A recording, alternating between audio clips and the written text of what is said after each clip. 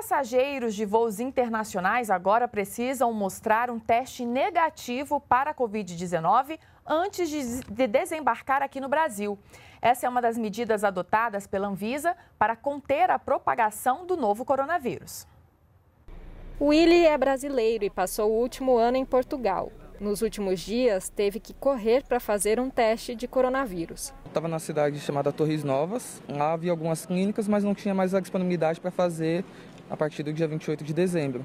Aí eu tive que pesquisar um pouquinho, dar uma garimpada, mas acabo encontrando nas cidades vizinhas. A correria de Willy é porque passageiros vindos de qualquer lugar do mundo devem apresentar resultado do exame RT-PCR negativo ou não reagente, feito no máximo três dias antes do embarque para o Brasil.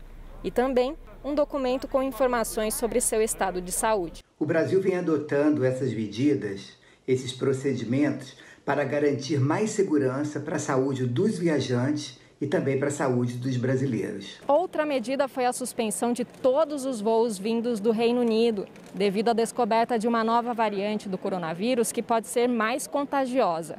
Os brasileiros que estão no Reino Unido e querem voltar ao Brasil podem pegar uma conexão em outro país, desde que cumpram a quarentena de 14 dias na chegada e sigam as novas regras da Anvisa. Luiz Ricardo viveu no Reino Unido por 26 anos. Para voltar ao Brasil, teve que fazer escala em Joanesburgo, na África do Sul. Graças a Deus consegui voltar para minha terra depois de 26 anos.